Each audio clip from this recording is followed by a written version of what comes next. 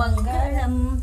Ever since I started making music, my name was too hard for people to say. So they wanted to change the spelling of the name. I was like, I'm not gonna butcher my name because you can't say it. You know, like that's crazy. I realized that I had to go make a place for me.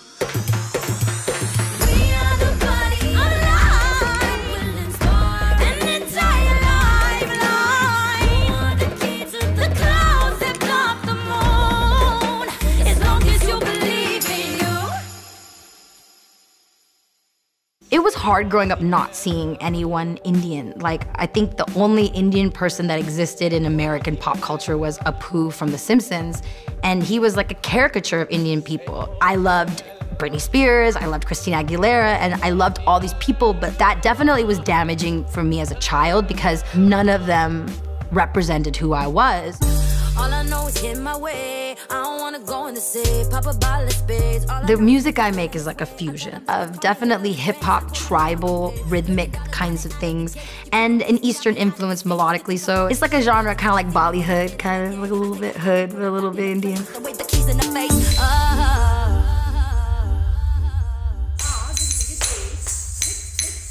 As a child, I studied three of the five classical styles of Indian dance. It's my first relationship with art, and I learned about rhythm through classical dance. Deem. Tatta deem. Tarikida dalangu takadeem. Tatta deem. Tarikida dalangu takadeem. Tadinda. Tattam deem. Tadinda. Tattai. Deem. Tatadinda. Tatadinda. Tatadinda. Takatagardhom. Deem. Tatadinda. Tatadinda. Tatadinda. Takatagardhom. Deem. Tatadinda. So then I took that and I was like, well, what if I use these devices and I apply some English in there, making a rap song, kind of what I grew up on being an American kid, growing up here, being influenced so much by hip hop and people like Missy Elliott and people like Timbaland that like are fearless with their fusion. So I was like, okay, what if we do like Halang kutaka de kutaka tadinginato Raja Kumari daughter of the king. How long you think that you could keep up with my tempo? Dance to the rhythm, dance in the Himalay. And it was just like so exciting that I realized that they are the same. And that kind of started me on this like search to like make this fusion music. With new artists, I think there's always a challenge for them to succumb to what society wants. Everyone wants to be able to say, that's the next X, that's the next Y. Raj is coming into this industry as incomparable. I don't think she's going to bend to what people want to hear, but she's going to create something that people are going to yearn to hear. You got me up, babe, up and bones. Son da. Taka da da da da da da. Da. So mom, how do you feel about me putting the the kuchipudi and Bharatanatyam in pop music? Tell the truth. You worry. She always like asks me. She'll be like, "We really like it, but like, are the people gonna like it? Are the American people gonna like it?" She's like always concerned. I'm glad she's doing it because she is uh, Indian and uh, you know and yeah.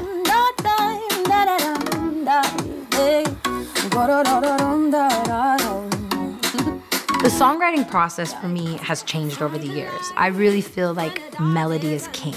And I understood that through like traveling the world. And you know, you see people that speak different languages, but they're all singing along to the song. So the melody is what moves them.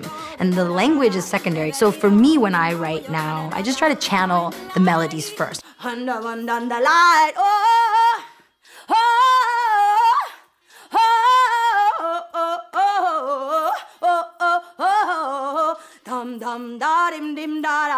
Once that melody is set, I let it tell me what the words are. Dim dim da da de. All right, let me try again. Baby, you a trendsetter, they gon' follow you.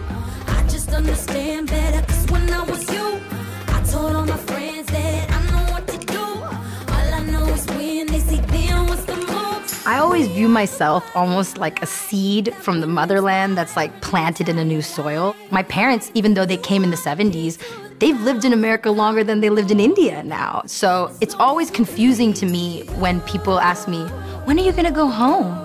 Or something like that. I'm like, I'm born in Southern California. I am home. I did dye my hair blonde a lot when I was a kid, and I really like kind of tried to push my Indian heritage to the side because I didn't see a place where it could like really be. It was a hard battle that I went through. When I signed my publishing deal for the first time to be like an official songwriter, I really put my artist stuff to the side for like almost like two years. I really didn't write things necessarily for me. I would write songs like, if Christina would sing this, or if Demi Lovato would sing this, and I would just write songs outside of my own perspective, outside my own voice. But you know, after about two years of doing that, I would be writing these things that were fresh and different, and then they would get to the point where they'd be like, "This is so awesome, but who's gonna sing it?" And that was like me. like that's when I realized, like, oh, shit, I'm creating music that like nobody else can do. Iggy Azalea did a video called Bounce, and she went to India. There is a scene where she's wearing a kiritam, which is like the crown that the goddess wears. And like I've worn it in a very religious, spiritual way. So to see someone who doesn't know what that is, just like kind of gyrating on top of an elephant, woke me up. I was like, wow, literally something that I've written in my journal that I want to film has been filmed by someone who has no connection to the culture. And if I do not get up and do this right now, if I don't make my album, I, I don't know what will happen. It won't be me part of the revolution. It won't be me speaking for us. At some point, you reach that place as an artist where, like, if you don't put something out, your head is gonna explode. And I think that that's the place that she got to. The day that she called me, she just had this this excitement in her voice. She was just like, "I'm ready. Nobody's stopping me. I'm not letting nobody else tell me no. F it." And I think since then she hasn't slowed down. I'm actually working on an EP. It's called The Come Up, and it is about being on the precipice of everything you desire and taking a leap. And it's really about like visualizing and manifesting. There have been many times where I had moments of doubt and wondered if I should like erase my culture in order to make it in America. But as I've come here and I've understood my role in all of this, I see that that is actually the thing that's gonna help me make it. And that's the thing that makes me unique. And that's the thing that needs to be celebrated. So I realized that I'm actually going to make it because of my cultural heritage and because I've understood it and celebrated it.